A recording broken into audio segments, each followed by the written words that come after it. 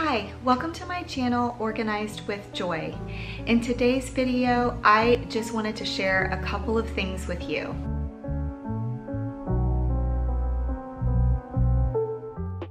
The first thing I wanted to share is that last week I hit 300 subscribers and so I wanted to thank you all so much for subscribing to my channel. Thank you for all of you who like my videos, who engage with my videos by posting comments and I just wanted to let y'all know how much I appreciate each and every one of you and I love getting to know all of you so continue to make comments in the comments so I can get to know you. The other thing that I wanted to share is just an encouragement to you that you can do hard things. So my sister has said this a lot, my older sister Heather. She has been such an inspiration to me and she's always been a cheerleader for me my entire life. She's always spurred me on and encouraged me to do the things that I love to do, but also to do hard things.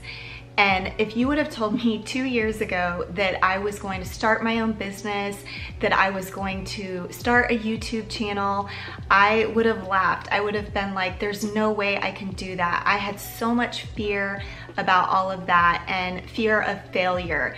And I just wanted to encourage you today that if there is something that is on your radar, something that you want to do, but you have fears about taking those steps of faith and just pushing through and doing it, I would encourage you to just do it.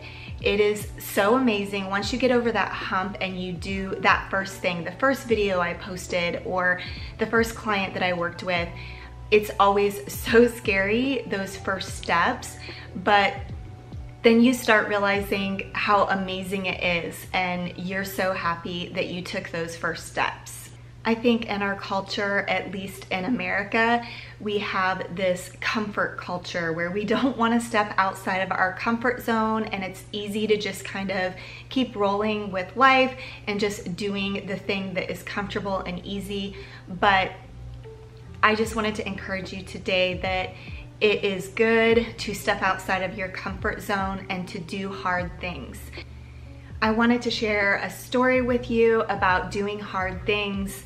Um, I have ran four half marathons and yes, that is a hard thing.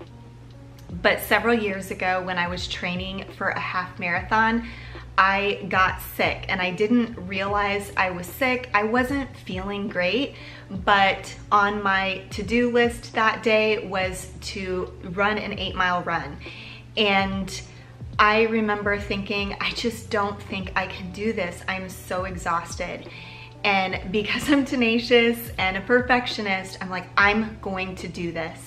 And so I went out and ran. My kids were in school. And so I was, you know, doing this eight mile run while they were at school. And I got home that morning after that run and I just felt totally wiped out. I took a shower and laid down in bed and I did not wake up until it was time to go pick up my kids from school. And that weekend, I progressively got worse and was feeling more sick, ended up going to after hours care and finding out that I had shingles. I had run eight miles with shingles. Now, I don't recommend that. I recommend listening to your body and I've definitely got better at listening to my body.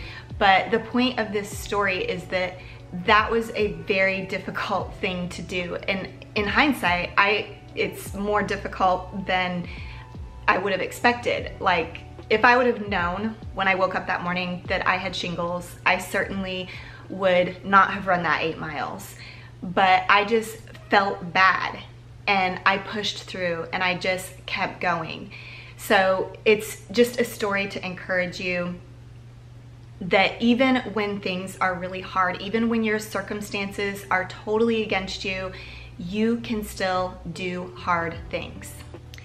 Well, thank you for watching this video today. I hope it did motivate you and inspire you. And I just wanted to let you know that you should follow me over on Instagram if you like this sort of content. I do post over on my stories similar content where I share some encouraging things with you. So please go follow me over there.